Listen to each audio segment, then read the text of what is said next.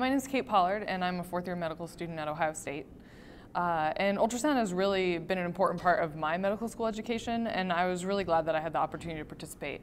Um, at Ohio State, it's part of all four years, and I really found from the beginning that once you, you know, get in the clinic and on the wards, people know that you're involved in the ultrasound program. And so I've taught, you know, residents and fellows and faculty members how to use ultrasound just as a medical student, because um, I had the opportunity to just get ultrasound early uh, with my medical education.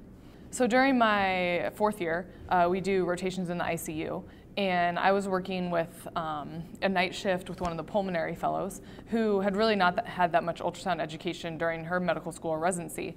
Uh, and she knew that two of us were actually in the ultrasound program. And we had a patient that needed a cardiac ultrasound. Um, and she came and got us and you know wanted to know, are you guys in the ultrasound program? Can you come help me? And a lot of it is just getting people comfort with the machines, um, knowing how to turn them on. A lot of times once you get the image, they can interpret it. And so I was able to, you know, go with the fellow to the patient, scan the patient, um, you know, figure out what pathology was going on and help them make decisions in the middle of the night that otherwise they wouldn't have been able to, uh, just because they haven't had the opportunities that we've had to have ultrasound education.